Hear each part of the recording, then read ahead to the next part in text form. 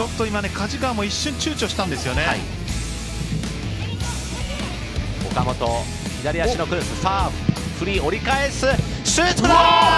中川博人。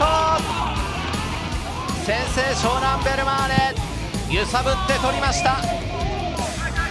見事でした。酒井です。酒井合同そして横に流してイニエスタイニエスタふわっと浮かせてドーグラスドーグラスが決めました神戸先制0対1チャンピングボレーのような形でドーグラスです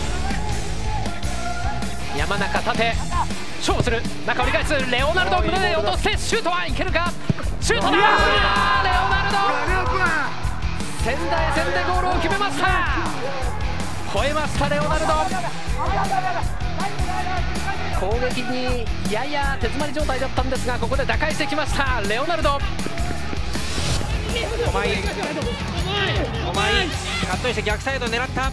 さあルカス・フェルナンデスカットイン。まだ入っていく。そしてどうかなシュート。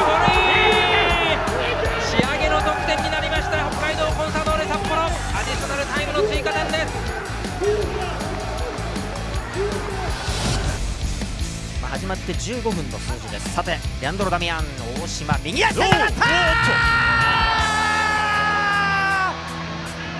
先手を取ったアウェーの川崎。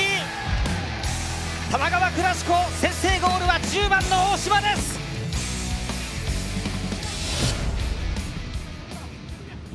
水沼宏太天野。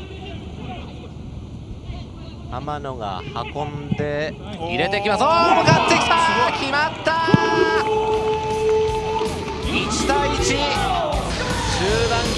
帰ってきた天野潤。これですね。狙いましたかね。狙ったんじゃないですかねこれ。ちょっとアングルつけて逆ポストの方ですよね。見事なミドルシュートでした